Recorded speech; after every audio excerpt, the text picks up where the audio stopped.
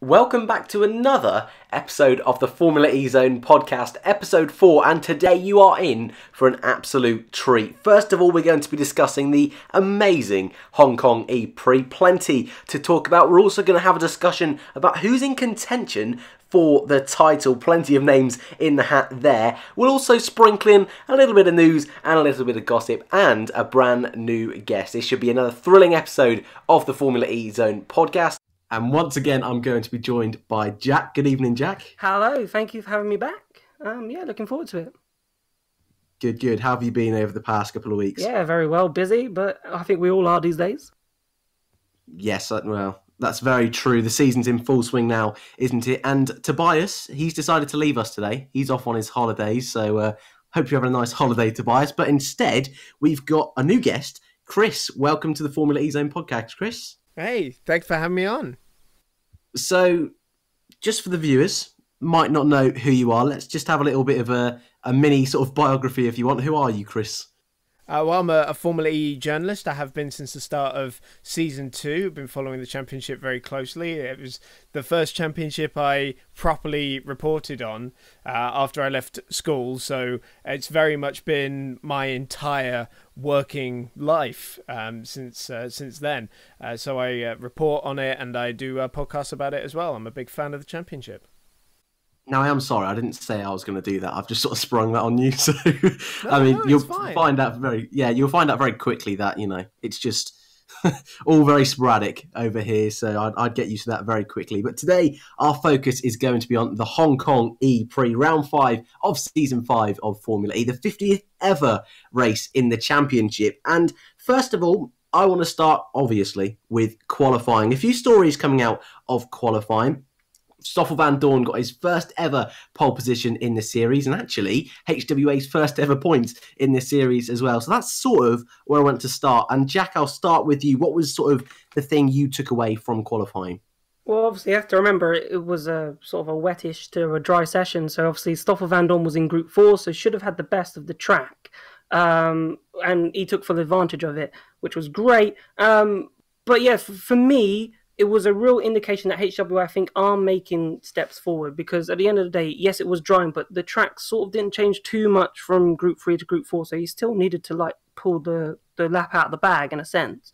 So, which he did, which was brilliant and really good for HWA. So, I think they're definitely making uh, good steps, and it was good for Stoffel Vandoorne because he's had a good, he's had a tough start to this uh, championship, and obviously life up from F1 wasn't great, and then coming into a tricky start in FE might not have been good for his morale and confidence, but he seems to have bounced back really well, and I think that would have done him the world of good. I don't think the What- track changed all that much, in all honesty, because you would look at di Grassi, who was in Group One, and he still made it through to Super Pole. And if you were to look at some of the other guys who went out in Group Three, Group Four, they weren't as quick as the HWAs. So I, I, I do think that there was inherent pace in those cars, and you know the the Venturi powered cars especially, because we saw three of them in Super Pole. Yeah, I agree. I think they made they made really good progress, and I think that shows the progress that they are making using the test days really well to sort of put their car move it forward uh, further forward up the grid because you know at the beginning of the season you could be quite worried for HWA which we have to remember is a learning year because they're becoming Mercedes next season. So to be honest with you it doesn't really matter as I've said before how they do this season. All they're doing is just gathering data building up and sort of trying to progress their car ready for the big Mercedes factory team um, coming into next season. But they definitely are moving in the right direction Well, at the opposite end of the grid, we had the big championship contenders, didn't we? We had Felix da Costa all the way at the back and the two Mahindras. Were you surprised at that, Chris, or did you really just put that down to the change? Well, I was going to say changing conditions, but was that more down to the wet weather?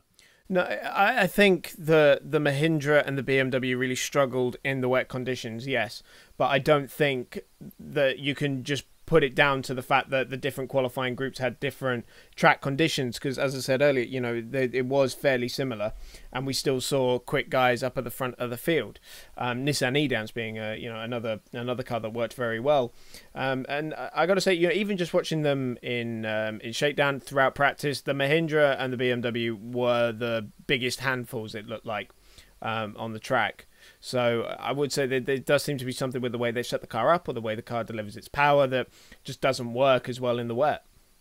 Yeah, that's what I was going to say. It might have been a setup thing because the race the forecasts were predicting that it would could potentially be a dry race. So I was going to maybe throw out there that maybe, you know, the way that Mahindra had set up their car going into race maybe didn't favour the wet conditions that they had in qualifying um, at that time. But yeah, they did look like a handful, as Chris said.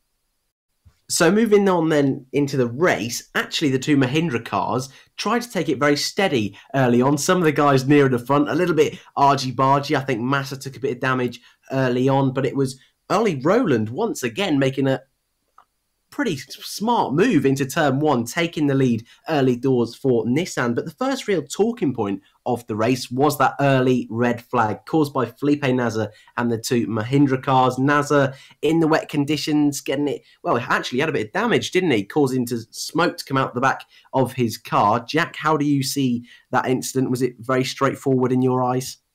Well, the incident was I think Nasr should have stopped because he'd lost the front wing or the front wing was stuck underneath his tyres. Um, so he should have pulled over. I think the team should have told him to stop because basically he went into that right hander of turn three or two, turn, turn two, sorry, and um, he couldn't stop. He just went straight on into the wall and then caused a roadblock. So really and truly, instead of trying to attempt that corner, Dragon should have been on the radio, which the drivers D'Ambrosio and said that's what they should have done because he did just he couldn't turn. Poor guy, he, he could, couldn't do anything when he turned up to that corner apart from just plow straight into the wall. In his... and it caused the road roadblock. In Dragon's defense, they I think they had every right to try and get it back to the pits, repair it because there was more than likely going to be safety cars in that race that was going to bring them back into play. And uh, with um, the pace of the race that we saw, then def- it would have been worth trying to keep Nasr in that race. I mean, hindsight's a wonderful thing, yeah. Yes. Um, and you got to, you know, Nasr is pretty blameless in that incident itself. It's just a crying shame that when he did stick it in the wall, the two Mahindras were unable to avoid him. Well, and of course they're both championship contenders, arguably as well. So it was it was a big shame, and I think I, I agree with you, Jack. I think there definitely should have been a little bit more emphasis from the two Mahindra boys trying to get Nasr to come into the pits. But I understand what you're saying, Chris, as well. They they were just trying to make the best out of the situation, I suppose, and all a bit of a mess, to be totally honest with you. Anyway, we saw that red flag, and then things got back underway once again. And Ollie Rowland leading, Sam Bird nudged him a little bit in the rear, and he sort of had an I was going to say an issue, but it was a bit bizarre because as soon as they made contact, Rowland moved over the side. Pe- people were thinking, oh, that could be Rowland perhaps out of the race once again due to damage, but his car got going again. Do either of you two know quite what happened there? Yeah, he accidentally hit the full course yellow button from the nudge, so he was suddenly stuck ah, at okay. 50 kilometers per hour, uh, not going anywhere. Which again, it's just more bad luck for Ollie Rowland, isn't it? Really, because I'm staggered how quickly he has brought up the pace to beat uh, who I consider the Formula E king, Sebastian Buemi. Definitely, hundred percent. Because at the beginning of the season, you saw uh, Buemi sort of was ahead, and Rowland has has taken the fight to him like a rocket. And you know, in qualifying, he's there. He's making it like fastest in like group qualifying sessions now. He's constantly up the, at the front, and he's racing really well. And it was just really unfortunate. Like it was weird. It was a shame that he accidentally hit the full course yellow um, button because I thought straight away, oh no, he's had a technical issue because that's what it looked like. It looked like he's just pulled over to the side. Yeah. A technical issue, um, but obviously it was uh, he said after the race that he accidentally hit the full course yellow button. But at the time, but then obviously we must have. I think we realised during the race that he must have hit the full course yellow button because he didn't. He then continued. He wasn't like in last place with a technical. He was then running in tenth, so he lost. He went all the way back down to tenth after that. After and, that incident, which was a shame because again he could have won that race. You know, very much like in Mexico when he was in a position to challenge for the lead of the race, and it all went away with the energy um, consumption problems. This time, he could have won the race because he was in the lead of the race and he could have managed it because Hong Kong is not an easy place to overtake. Um, it's extremely tight. And he could have he could have won that race. There was the potential for him to do it because, as we see talk on it later into the podcast with the actual race that then unfolded, you saw how difficult it was to overtake. And the the thing he had going for him as well, that Nissan e.dams has got fantastic punch out of low speed corners. So coming out of the turn one hairpin, turn six hairpin, he would have had fantastic defensive cover because of the twin motor package on that car. just gives it such great acceleration out the corner. And fair play to Ollie. I mean, as you know, we were talking about him versus Buemi. He had next to no testing in that car yeah. before the start of the season because it wasn't supposed to be him driving it. He got a very last minute call up, did one day of testing in Valencia in the pouring rain, and then had to rock up in Adria prepared for the season um, and ha- uh, apparently having to suddenly lose a bunch of weight for the for the championship as well. So fair play to the guy. I think he's done a fantastic job. Yeah, that just underlines it for me. What you just said. It's just it's it's mind-boggling to think he's coming to a championship with next to no testing. Yes, you could say you know he had that little tiny run in Mahindra, but it's a completely different car now, so it's sort of irrelevant. But the way he's just adapted to this Gen 2 car and the series, and obviously the drivers with the amount of experience that they have compared to him, is just mind boggling. So he's doing a fantastic job. And he could be, if that Nissan car can push forward, even in maybe season six, if they can keep up, then I wouldn't rule him out for a title. Oh, that's a statement. That is a statement. I'm guessing that is that's bold early on in this podcast. But Wait, I, the way he's driving, can yeah. you can you we, we were talking last time about Wehrlein possibly winning this championship because of the amazement of what he's done over his first couple of races. So what Ollie Rowland's doing to me is no different to what Wehrlein's been doing. So if Wehrlein can potentially win a championship, I suppose you could make an argument for any driver winning this this Formula E championship because it's so nuts. But if you were trying to, you know, think about it realistically and trying to think about, okay, who could actually mount a serious challenge. If you don't put Ollie Rowland in that in that bracket, then I, I don't think you know you're doing something right. And for me, he has to be in it in some shape or form. I, don't really disagree with you, to be fully honest with you. He's starting to show a bit of consistency as well, isn't he? And I know this is a little bit off topic, but um, I am chuffed for him that he even got a chance in Formula E back in it was Formula Two, the very first season of Formula Two when he was up against Leclerc. I I was a bit of a fan of Ollie Rowland, and I hoped he'd get a chance in Formula One. Gutted he didn't. Then, when he had his race for Mahindra, I was thinking, oh, hopefully he could wiggle his way into Formula E somewhere. So when it was announced he was going to replace Albon for this year, I thought, yes, this is this is going to be great for him. And after the first couple of races, it wasn't looking great, was it? But Nissan have really come into their own now, and arguably, like Techeetah, should have probably had a win by now. Definitely have a car to do so, and I expect them to do so by the end of the year.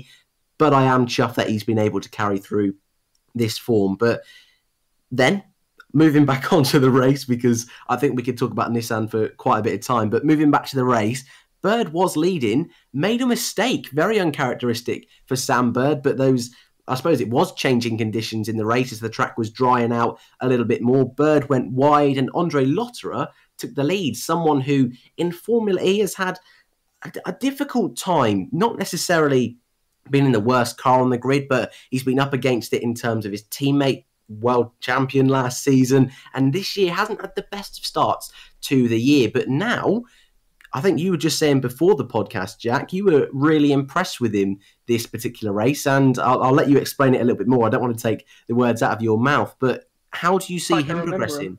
Well, well, how, well, that, that's someone else, isn't it? But how, yeah. how do you see him progressing for the rest of the season now? Well, I think Andre Lotterer last season showed that you know, he has, you know, he started off difficult, as the commentators were saying back in last season. He was basically disqualified from this race, um, what he was, uh, because he had so many, did so many infractions, did so many things wrong, and he's really developed over season five, and he's carried that over into season six. And it was a really controlled performance. It was an Andre Lotterer performance because you have to remember he's, he's, he's 37 years old. We've seen him in so many different championships do what he's done in Formula E, where he's just controlled a race, where he just looks so, you know, entwined with the circuit and smooth and any all the all the great driving sort of credits that you want to give a driver. And we saw that from Andre. And at the beginning of his Formula E career, we didn't see that, and he's really just come into his own. And yet again, another driver, which if he's in the car, that Techeetah car, to still for me is the fastest car on that Formula E grid. But then for what one reason or another, they aren't showing it. Um, I think they proved that at the beginning of the season. I feel now the gap has definitely decreased their advantage from all the testing days that we've had. But again, you know, Lotterer has the chance, as I was saying with Rowland, There's so many drivers you can make an argument that could go on to win a title. And Lotterer, I think, is slowly, maybe not there yet, but slowly, definitely creeping more into that category. Maybe not there yet, but he's definitely moving forward, and he he, he will match or compete against anyone, which we saw today. Uh, well, not today, but you know, in the race. For for me, the mistake from Bird was probably one of the most key moments of the race because it cued a typical Andre Lotterer defensive drive. You know, in, in that moment, you've got one of Formula E's most robust defenders against one of Formula E's most notorious attackers. Um, and that is just a massive treat for everyone watching, really. Um, and seeing them nose to tail throughout the entire race uh, and massively pulling away from the rest of the field. I think they were quite lucky that Vandoorne was, you know, able to back the pack up a little bit, and it's so hard to overtake around that track. So uh, they there was a, a smaller bit of uh, luck in there because, uh, as as Jack said, there are so many guys who can win races. You know, I, realistically, there are six teams that are regularly capable of fighting for wins, and after the result we saw in Hong Kong, you have to up that to seven or eight even maybe. Yeah. So, you know, there are that's that's your top sixteen. So it's like it's someone is going to come away so disappointed by the end of that. Yeah, it's just that's that's the thing. You said sixteen drivers could potentially win a race, considering the results that we've had so far this season. That's how close this championship is, and that's what we said sort of earlier in the beginning episodes. Whoever wins this season's championship is might not be the best or the quickest driver. It might be the most consistent driver. And you know that was probably Mahindra's big blow in this race because they'd been so consistent up until now. And uh, Hong, Hong Kong was their first race where they won. They were they they'd had their bad luck in a say they had their misfortune, and all of a sudden the championship's wide open. They've lost their lead, and it, it's all switched. I don't think anyone's been too consistent. I think Jerome got really lucky in Mexico where he ended up fourth. I think. Otherwise, you know, he was looking at the the back end of the top ten. But this this result has very much put everyone in a position where no one's been consistent through the season. And yeah, definitely. Jev built his ship on being consistent, didn't he? Yes. Yeah.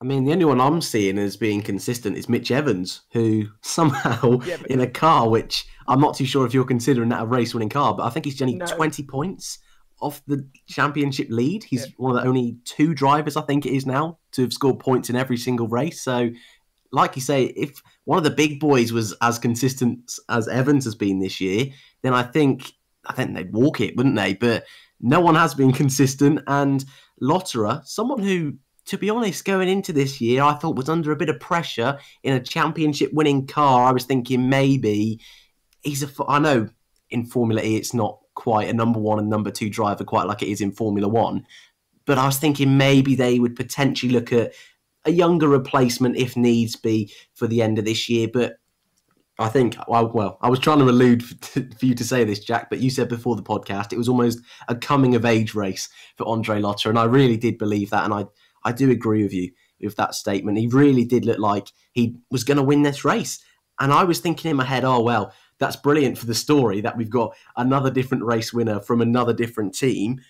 But then I hope you two find me moving on to this. But then we saw the incident, the big incident, the race defining moment. Sam Bird, like you said, Chris, the most notorious attacker in Formula E, arguably making a mistake. I'll quit. I'll put that in quotation marks because do you, I want to know what you two think. Do you think this is a mistake on Bird's part or Lotterer's part? Because I mean, well, there's many different ways you can look at this, isn't there? You can either see it as a mistake from either of them, a racing incident. Did they deserve a penalty? Did they not? But let's start off first with whose fault do you think it was? And I'll start with you, Chris. I'll put you in the deep end first.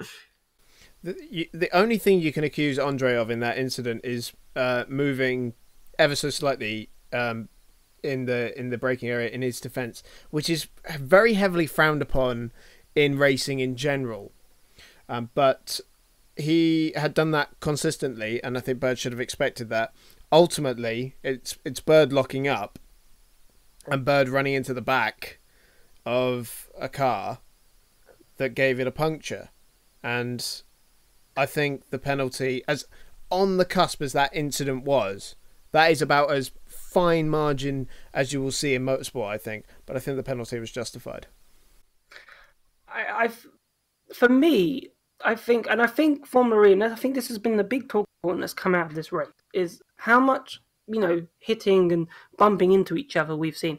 Now, going back to your most consistent driver, Mitch Evans. Okay, just to just to give some context, just shunted John Eric Vergne in Mexico. Did he receive a five second penalty? Yes, John Eric Vergne was not in a really great position, but no, Mitch Evans did not receive a penalty for that.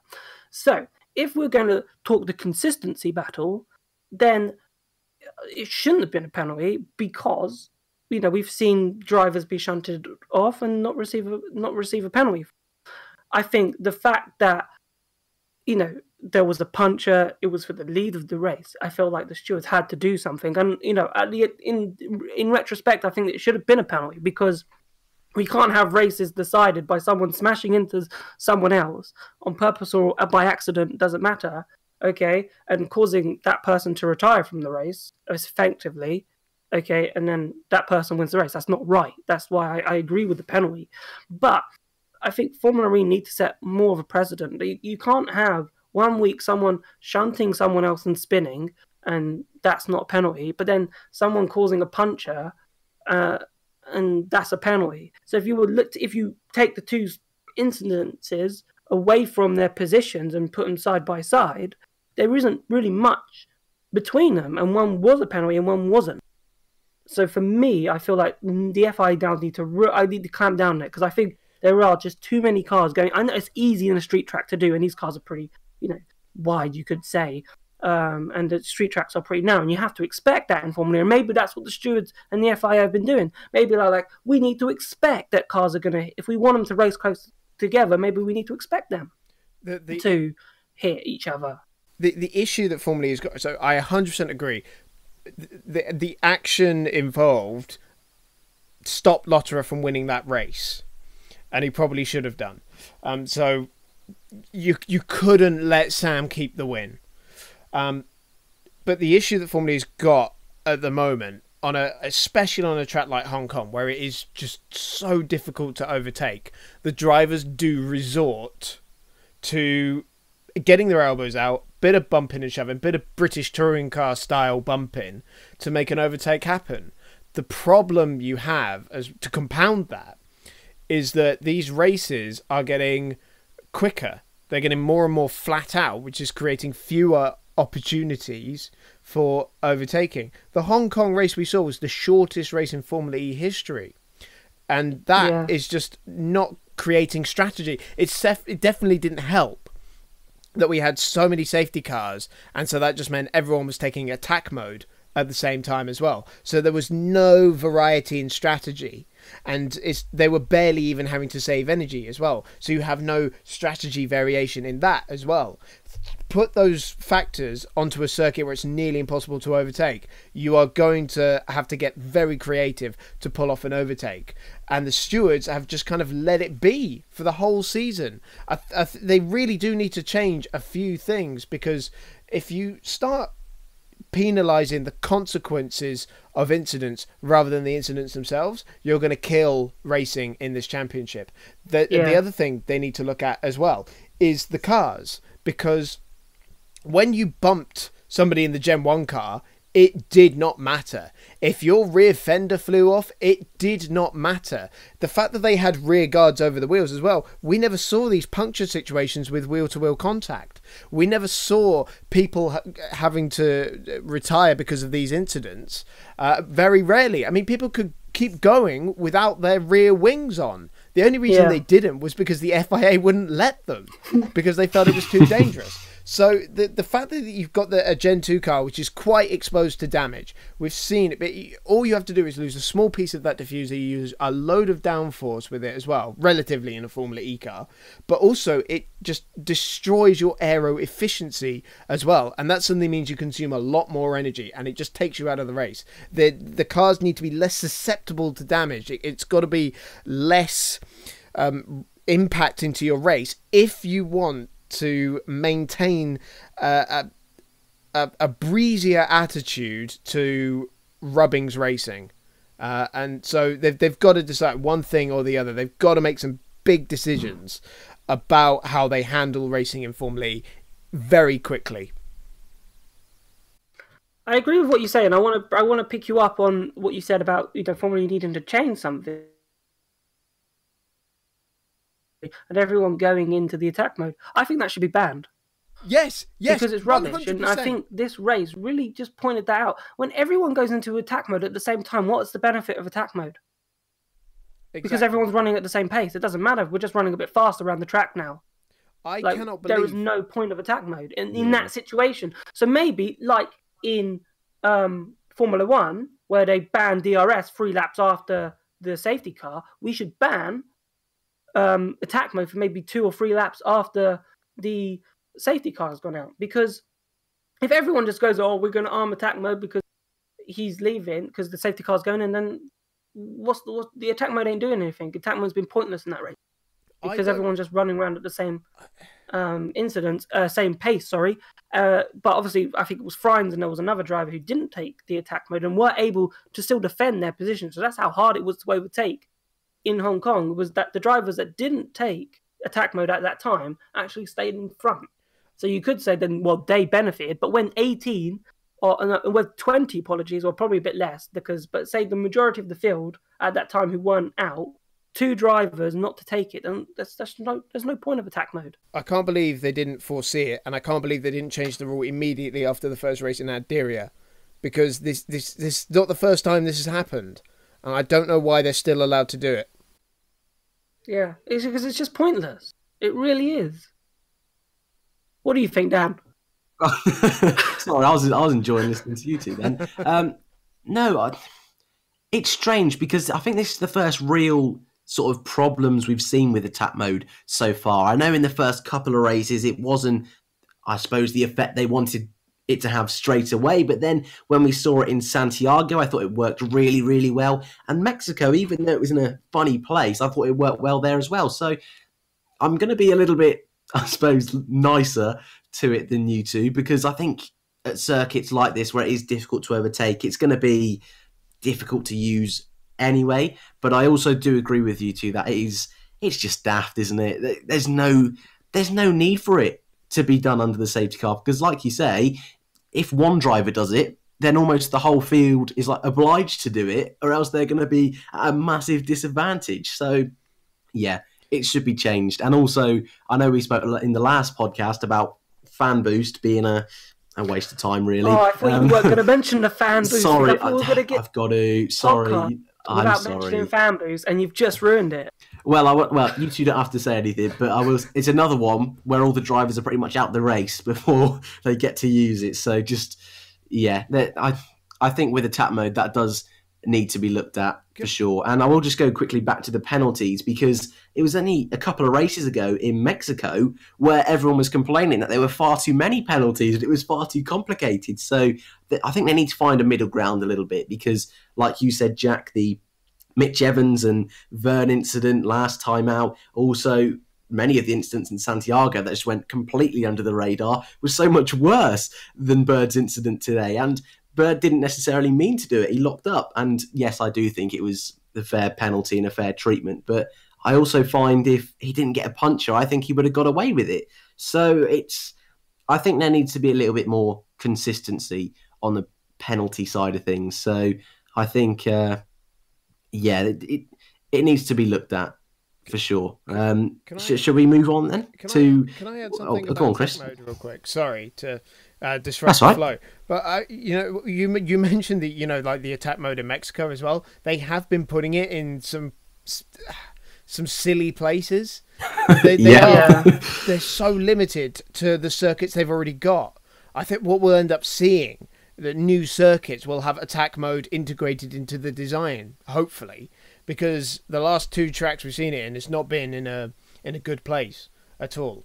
I, I know I've I've been criticising Formula E a lot on this show, and I would hate anyone listening to me for the first time think that I don't I don't utterly adore Formula E. If, if any criticism I make of it, honestly, comes um, out of love, um, and it, it's because it's such a great thing that when you have issues like this, it, it, it stops it becoming in in my view, perfection. Well, that's what that's what, and I agree with you because I think it was also in terms of the attack mode because obviously we've been praising it as you said. It's some in some races it's worked really well, but in in this one it didn't work well. Just be, but it's minor things that the series, the championship needs to just look and just say, okay, that's not working. It's a new thing. Attack mode is a new concept. So I'm surprised. A bit like how Formula One, you know, got rid of that qualifying elimination um, thing. It's the same thing that they could have done with attack mode. They could have tweaked it and said, okay, right, so it's definitely not working on the safety car. Because if you just want Scalextrics, as the critics call Formula E, then having everyone on the same attack mode at the same time is Scalextrics. It's just everyone running on the same track. That's really hard to overtake um, and running at the same pace on the same line. What? So you, they need to just take a look and go, okay, this is working, that isn't working. It's a whole new concept of racing for Formula E this season. Okay, so there's always going to be teething problems, and I think basically what we're seeing right now are the teething problems. And like any baby, like we're being as journalists right now reporting on it, is crying and saying, "Hey, you need to fix this. I don't like this, and you need to, you know, put something in my mouth so I feel better." Okay, and that's what Formula need to do. They say, okay, okay, so what can we do to make this look better and you know make it much a better product? Because it's they're on the right lines. They're, they're doing the right things. Attack mode is actually a really good concept, but they need to realize when it's not working and stop the situations where it's not working.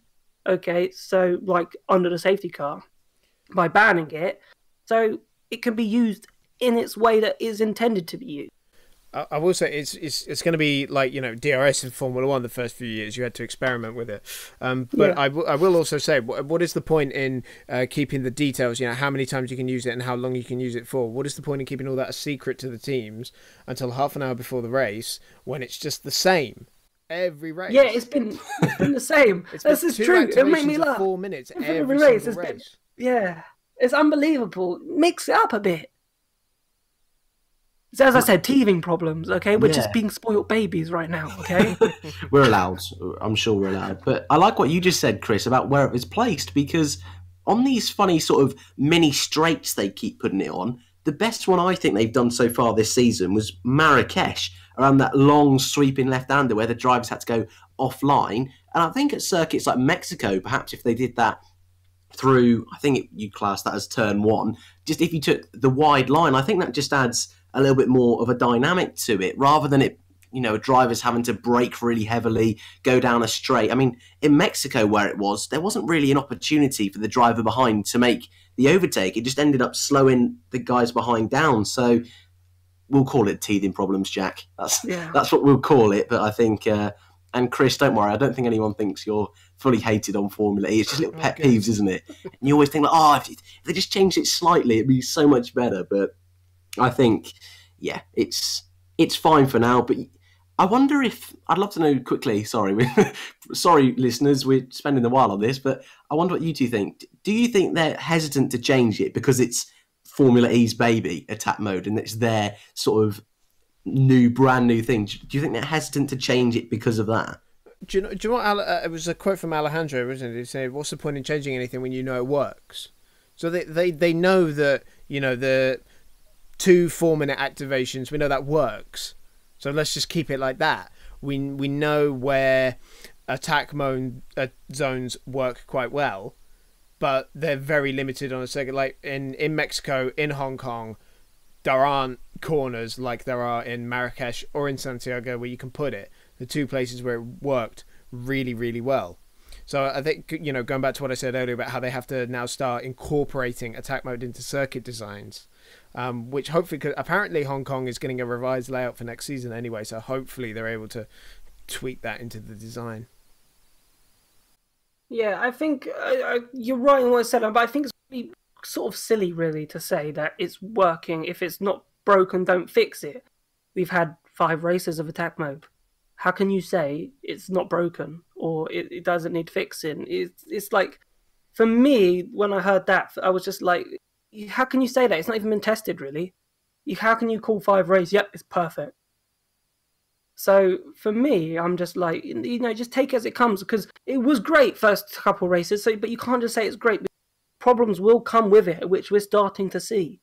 So saying that that it's great. If there's no problem, don't fix. It's a bit silly. I feel like you know, just see how it goes this first season. Probably just keep it the same. They probably will keep the same majority of the season. And fingers crossed, they go into the off season in, for season six and go, okay, that you know, go and analyze all the 13 races of attack mode and go, okay, what worked well, what didn't work well. And fingers crossed, the safety car thing comes up as that did not work well. Okay, and that gets changed for season six. Yeah, you do wonder as well why, like you both just said, you know, they, we don't find out how long they get to use it or how many times until a few hours or days or whatever. there is a reason because they don't well, want them to simulate. They don't want to simulate yeah. a race and finding out when is the best time to use attack mode. That is the purpose of that. No, yeah, but yeah. Why don't they change time, it? Why, why don't the we see different ones?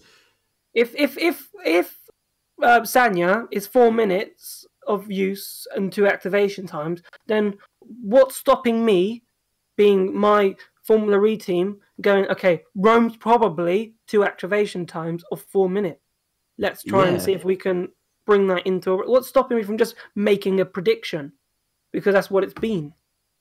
I and lo and behold, lo, lo and behold, they probably are because they're not silly. These teams. So lo and behold, I've made that prediction. I go to Rome because I've realised the first six races have been the same, and I go, great. We predicted it. We know exactly when we should use attack mode, barring a safety car. Shall we move on? Shall we? Shall, sorry, everyone. We'll we'll get to the race result now because we're about there now. Um, another different winner, another new winner, a first time winner in Formula E. Edoardo Mortara took his first win and Venturi's first win. A surprise result in the end, but mainly down to Bird's penalty.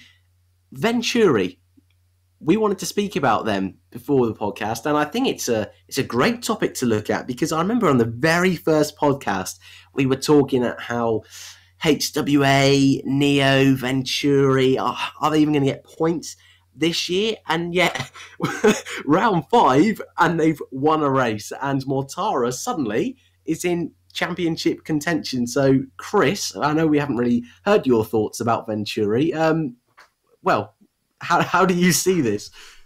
I, I'm I'm staggered. Uh, I remember uh, preseason testing uh, where yeah, they didn't look very quick, um, and they didn't look all that reliable. It must be said.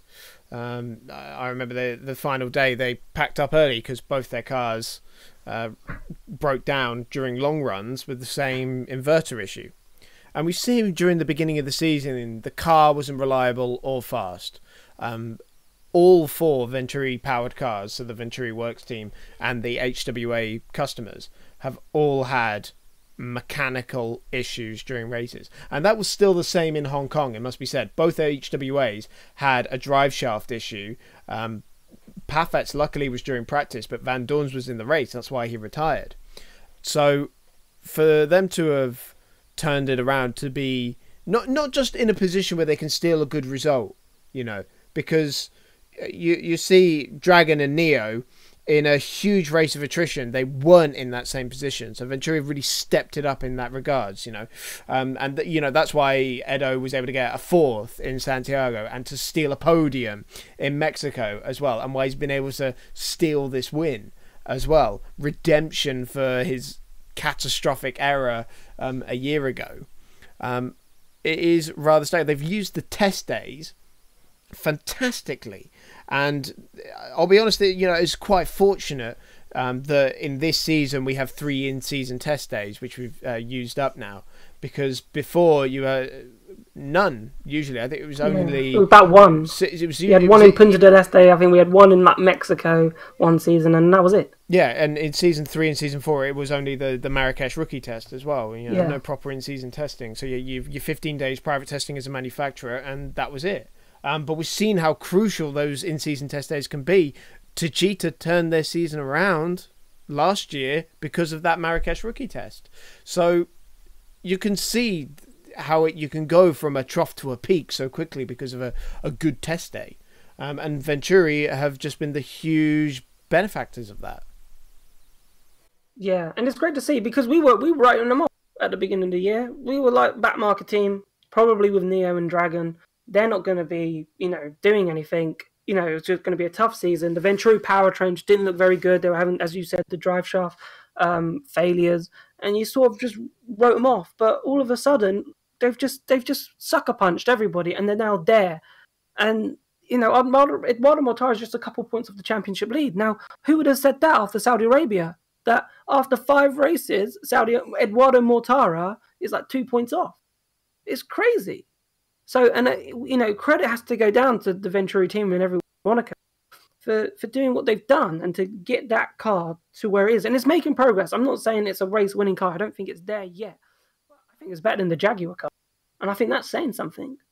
Well, and in the constructors' championship, they're ahead of BMW and Techeetah. So, I mean, like you said, I don't think the car is actually better than the BMW and the Techeetah, but these past couple of races, and just for reference as well, Massa in fifth today, a really good job from Venturi. Um, I'll go through the rest of the result quickly. Di Grassi in second, again, very similar to last year, started off poorly, but he's starting to find a little bit of form now, and he's definitely in the title fight. I think we can all agree. Robin Frijns, P3, a podium in the end for Virgin. I suppose they'll be happy with that, but the team coming on the radio to Sam Bird partway through that race saying just take the second place and we look back at it now and think, oh, if only he'd have been able to hold on to second place. Daniel Abt in fourth. He continues his point scoring streak in every single race this year. He has scored points. Massa was fifth. Bird was sixth. Mitch Evans again scoring points in seventh. And Gary Paffett in eighth leads me nicely on to. I just wanted to quickly mention HWA finally scoring points today do we all think that's the worst car on the grid? And I just wanted to quickly say as well, do we think next year with Mercedes fully coming on board, they're going to be able to fight? Um, I'll start with you, Chris. Again, I'll throw you. Sorry, I'm throwing you into the deep end a lot today, but oh, you're, the, you're the, newbie. I love it. Um, yes, 100% Mercedes are going to be in the fight. Um, you you just know they were. They, they haven't taken a lackadaisical approach to this um, whatsoever, and having HWA in as a customer team a year before their entry is just going to be a huge, huge benefit um, to them. I mean, look at uh, how BMW tying in with Andretti for two seasons has helped them out. Um, they've really hit the ground running. So, um, do I think the HWA is the worst car?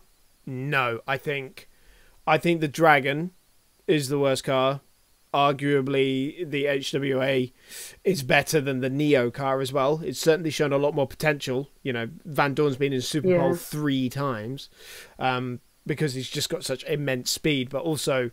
You know, we've seen the Venturi powertrain has glimmers of speed. The only reason that they've been outside of the points for so long is because they are a new team. They're here to learn. They're here to, you know, let Formula E slap them about the chops a little bit because that's just what Formula E does to rookies. So coming in as a rookie team with rookie mechanics and rookie engineers and rookie drivers, they are all in for such a steep uh, learning curve, and it's you know it's far from over. It's, it just gets steeper and steeper. And yeah, I agree. I agree. They, they they they still have they still have a way to go, um, but yeah, I was going to say is, is picking up on your point about the West Coast. I think definitely of it because if you look at Neo's drivers and Turvey and and Dillmann, they're good drivers and they've proven themselves in the series as really good drivers. Like Dillmann's come in and when he was at Venturi, you know, he was on the pace straight away. Uh, and Turvey's been, you know, he could have won races. He's been a consistent, you know, he had a consistent top 10 or Super Pole appearance. Can't remember which one it was now um, for ages. Um, and they're at the back of the field and they, they can't even, as you said, it was a race of attrition. And where were they? Nowhere. in a race of attrition, that's when the teams like that pick up points because that's where you want to be. And they're failing to do that. So for me, uh, they're struggling. But HWA, yeah, definitely not the worst team. They've got the potential. But as I said before, it's just a learning year. It doesn't matter. As like Chris said, if they get kicked about, they, they learn all these little niggles that formerly at them because it's just a learning year. It doesn't matter. All Mercedes wants is data, finding out just testing the ground so they are ready to hit the ground running come season six. And I reckon now I think there was always this idea of a Porsche link between Dragon, but I feel like Mercedes coming into the season will probably be quicker than Porsche next season for sure. That that Porsche type that lasted what one race, and yeah, you you do have to wonder about Porsche's you know entry because. Uh, they, have come into it uh, like like Jaguar did, where they just come in, uh, with their own motorsport team, Um, having you know with no with no prior Formula E knowledge really, and their first season was very very difficult indeed. So uh, I think uh, Porsche could be in for a tough one compared to you know Mercedes, for example. Well, yeah, no, I, I agree. I think it's going to be a difficult time for Porsche, isn't it? Um, and with Neel Jani, is that how you pronounce his name? We'll, we'll pretend that's how you pronounce his name. Um, I think it's going to be a similar sort of year to HWA. But before we wrap this up, another team I just wanted to quickly mention, I'll just squeeze it in onto the end here. Um, Techeetah, another really disappointing weekend. Vergne was the last guy to actually finish. Lotterer, obviously, with his puncher, not able to finish the race in the dying laps, but massively missing out on a golden opportunity. Pardon the pun. Um, best car on the grid. Surely they should be winning by now, Jack. I mean, come on. Well, I like that, but um, it's just they're not hooking up. They're not hooking up, and you could have said they nearly did hook up with Lotterer but then that luck was taken away from it. So really truly, they did in terms of Lotterer's race, nothing really went badly. But Vergne, as we were saying, I think I think there's just this reigning champion bug where you know you win the championship and you're just set up to have a horrible season. We saw it with di Grassi, Bino Buemi faded away, Nelson Piquet. You know the car was rubbish in season two. It's like if you win the championship in Formula E, you just you're setting up for a horrible defense of it because that just seemed to be the correlation so far. Um, so for one reason or another, they just haven't hooked up qualifying, whether it being Vergne not driving it properly or the car just not being set up properly. You know, it's just there's just things that they're missing, okay, which they weren't missing in season four. That is costing because even Lotterer, like Lotterer, you know, he's great. He's probably been a bit more consistent than Vergne in his qualifying um, positions but it's still not great. They're still, you know, it's an old Super Pole appearance, but then they're not really challenging for pole in those Super Poles. You know, where has that pace gone? That's what I want to know. I, I would say Techeetah and Vergne have had such incredible bad luck in the early part of the season. I mean, obviously the both cars getting the drive through costing them a one-two in Ad Diriyah. Um, Vergne and Lotterer have to hold their hands up for their own errors in Marrakesh, and they did. Um, yeah. And in, in Santiago and Mexico City, they were unlucky with the track conditions, where you know being out in Group One really was a disadvantage, and being clattered in incidents that just had nothing to do with them. Vergne has been uh, innocently uh, taken out of races three three times in, in the last two events, uh, and you can't you can't blame him for that. But in Hong Kong I don't I don't really think he had too many places to hide. Um, because yeah. it, it, in qualifying, he was the only one to have a spin and crash the car. The reigning champion, somebody of Jean-Eric Vergne's caliber, you would not expect that, uh, regardless of how tricky the conditions were, because nobody else seemed to be having all that many issues. I mean, we know some guys were slow, but none of them actually put it in the wall. And then from there, you're just in a toboggan because you can't make progress through the field for all the reasons we mentioned earlier um, in the show. Throw on top of the fact that he got a five second penalty for uh, colliding with Tom Dillmann, and then got a 10 second stop and go penalty for cutting that chicane and then not coming to a stop despite the fact that it was the team saying we want a harsher penalty for that, and yet none of the drivers seem to be abiding by that. But there is there are so many issues, and he can't uh, point the finger at too many places for this one. Uh, he really does need yeah, to I, I sit agree. back and think, no, okay, we are fast, I am fast. Let's hook up a race, and we've the effect of just being able to hook up a race and use your speed is incredible in Formula E. That's why we love it. Say do we, week. Uh, do we still think he can retain his title? Is that too far fetched of a statement? The thing is, I don't think I don't think he will. I, I don't. I, I don't think realistically. I, I think it's it's coming to an end for him. But we've seen so much inconsistency between the guys at the head of the field. Like I mean, twenty four points down, and I still think he's got a, a shot at the title with the speed he's been showing because all, all, all you have to do is just hook up the next few races and that's it. You're suddenly going to be back in. Consistency is everything in this championship, and it's just something that so many people have lacked because this is the first season of a new generation of Formula E car. It's going to be like you know the first season of Formula E all over again, um, with with with incidents and and learning the whole new car and you know mistakes, penalties, that kind of stuff. That's going to define this championship. Whoever makes the least errors is going to end up winning this championship.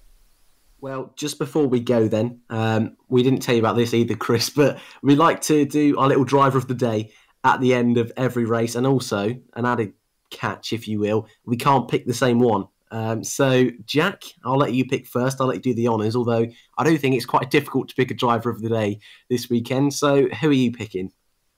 I'm going to go for Andre Lotterer. I'm going to take probably the uh, easy option um, from this one because I think his race was faultless. I think you know he managed from the front fantastically. Yeah, he might have been a bit aggressive, but so what? It's Andre Lotterer. Okay, um, I thought he, I thought it was probably one of his better races in Formula E, and he, you know, you could say he deserved to win it. Um, you know, you could have made a case for him or Bird, but Bird made that mistake and Lotterer didn't. So maybe in that case, maybe Lotterer did deserve it a little bit more than Bird. So Lotterer. Chris, I'll let you go second. I'll I'll go third this week. Uh, for me, Stoffel Vandoorne. He was sublime in qualifying and was holding up a really great race. And I just I cannot wait to see what happens when he actually gets a break and gets gets a a, roll going. You know, and the car doesn't let him down. And uh, there isn't some weird external circumstance that stops him sc- scoring a good result, which he's had in every single race so far. Yeah. Oh, you, you've both left me in a difficult position here. Um, I will say Felipe Massa. Um, damage early on. Uh, I, I, wasn't going to say Massa when we started this podcast, but Chris, you mentioned, I think you mentioned just before actually, um, that he had damage and they were able to fix it during the red flag. And the fact that he's ended up fifth, I know Bird's penalty helped out, but I think this was a really solid drive from Massa today, and I think he needed that. Venturi scoring well, maybe not the, the podium he's looking for at this point, but I think just that consistency is something that he needs to start bringing if he wants to have a successful Formula E career. But that's your lot for today's episode. We hope you thoroughly enjoyed the show. As always, if you've got any sort of comments, if you're watching on YouTube, you can throw them in the comment section below, or feel free to tweet us over at Formula E Zone. You can also go and check out the website. I would highly recommend you do that for all the latest news in the world of Formula E. Always straight on the ball is Formula E Zone, never misses a trick. But thank you for listening, and we hope to see you next time after the Sanya E Prix.